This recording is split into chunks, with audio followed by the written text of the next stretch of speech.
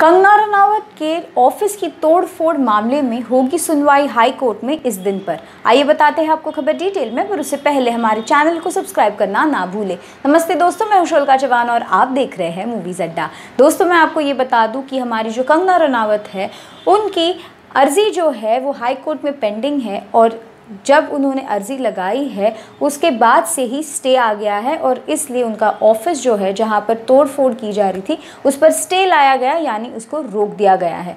अब उस पर जो आगे जो भी सुनवाई होने वाली है, वो होगी 27 तारीख, यानी आने वाले शुक्रवार को। जी दोस्तों, शुक्रवार को होगी सुनवाई हाई कोर्ट में और तब जा कर के ये फाइनली सामने आएगा कि क्या जिस प्रकार से महाराष्ट्र सरकार ने एक ऐसे ही ऑर्डर निकाल दिया और उनके घर को तोड़ फोड़ कर दी। क्या वो कितना लाजमी था, कितना सही था, कितना गलत था? मैं आपको ये बता दूँ दोस्तों कि महाराष्ट्र सरकार भड़क उठी थी कंगना रनौत पर, जिस दिन से उन्होंने आवाज़ उठानी शुरू की सुशांत सिंह राजपूत के मामले में। क्या लगता है आपको क्या वाकई हाई कोर्ट जो है वो कंगना को न्याय दिलाएँगी?